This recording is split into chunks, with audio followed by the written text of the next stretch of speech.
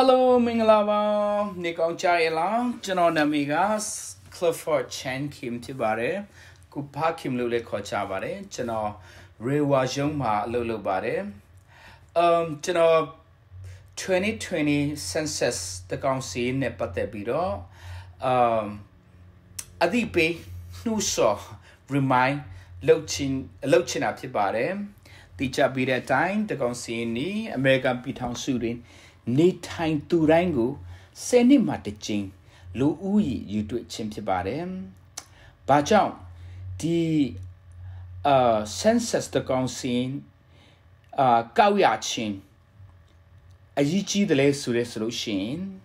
ကျွန်တော်တို့လာမဲ့10နှစ်တာတော်တွင်အာအမေရိကန်ပြည်ထောင်စုတိုင်းပြည်တဝန်းရှိပြည်သူလူထုအားလုံးအတွက်အကျူတက်ရောက်ဆယ်မဲ့နိုင်ငံရေးခွင့်ရေး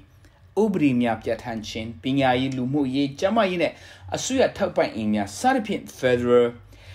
ဘန္ဒာရေးထောက်ပံ့ခြင်းအားလုံးအသုံးပြုဖို့ဆုံးဖြတ်ချက်ချရာတွင်ဤတကောင်စင်းမှလူ၏ကောက်ခံရသော အချက်လက်များကိုအခြေခံပြီးအသုံးပြုပါသည်တေမကြသေးမီကစာရိုက်ကနေဖိတ်ကြားစာရရှိလာပါပြီထင်ပါတယ်တချို့လူတွေကတော့ခုပုတ်ကူရေးရာအချက်လက်များကို Feria ဆွေးနေပဲဖြစ် အာမျှဝေရန်အမ်စူးနေကြတော့သူတွေရှိနိုင်ပါ ರಿ အာတခုသိရဘူးကတကောင်စင်ဘျူရိုဌာနကအတင်းအကူကြီးကူတာ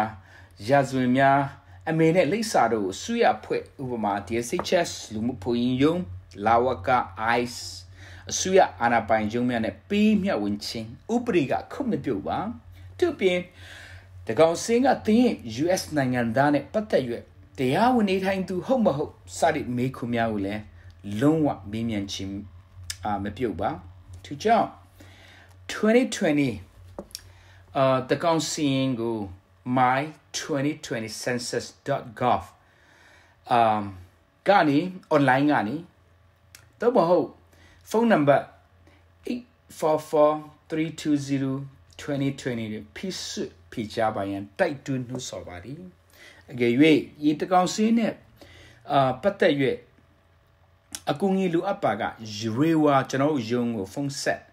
နိုင်ပါသည်ဖုန်းနံပါတ်ကတော့2069572029တွေဆက်သွယ်မေးမြန်းနိုင်ပါသည်အာတော့မဟုတ်ကျွန်တော်ကိုပိုင် cell phone